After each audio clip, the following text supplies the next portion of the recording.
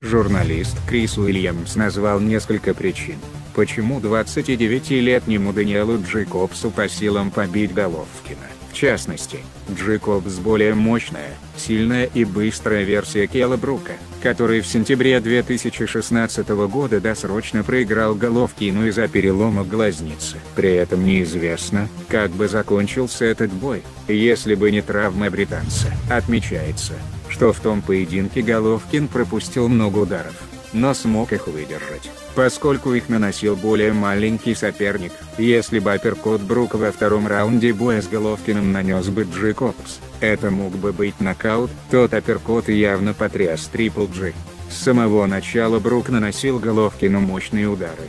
Если Джейкобс сразу набросится на него аналогичным образом, то у него хорошие шансы на то, чтобы добить Головкина написал автор. Головкин был в зените своей спортивной карьеры в 2013 году. В 2016 мы стали видеть трещины в защите Головкина после того, как он пропустил много ударов в боях против Доминика Уэйда и Келла Брука. Хотя Головкин и выиграл их, но уже не был тем боксером, который в свое время уничтожил Маклина, Гилла и Стивенса. Его сила все еще с ним но Головкин потерял в скорости ударов руками, и его рефлексы уже не те. Вдобавок, выносливость Головкина уже не такая хорошая, как раньше. Было видно, как тяжело он дышал в бою с Бруком, и он выглядел очень уставшим. И я думаю, виной тому возраст. Уже нет того фонтана молодости, из которого Головкин мог бы напиться и стать таким же, как несколько лет назад.